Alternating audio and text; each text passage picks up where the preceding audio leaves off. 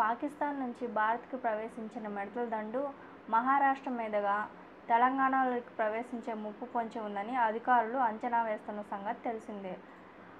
ప్రస్తుతం ఆదిలాబాద్ జిల్లా సరిహద్దుకు మూడు వందల కిలోమీటర్ల దూరంలో ఉన్నట్లు సమాచారం. ఈ మిడతలు మరో రెండు రోజుల్లో ఆదిలాబాద్కి చేరుకున్నట్లు అంచనా వేస్తున్నారు. దీంతో ఉమ్మడి ఆదిలాబాద్ జిల్లా అధికారులు మిడతల దండను ఎదుర్కొనేందుకు అప్రమత్తమవుతున్నట్లు వెల్లడించారు.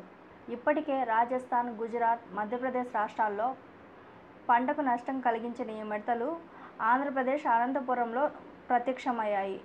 ఆ జిల్లాలోని రాయదుర్గంలో వందల సంఖ్యలో ఈ రాకాసి మిడతలు గుంపులు గుంపులుగా గురువారం స్థానికులకు కనిపించాయి.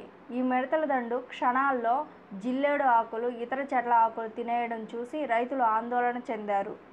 మరోవైపు మిడతల ముప్పును ఎదుర్కోవాలన్న అంశంపై గురువారం ముఖ్యమంత్రి కేసీఆర్ ఉన్నతాధికారులు శాస్త్రవేత్తలతో సమావేశమయ్యారు.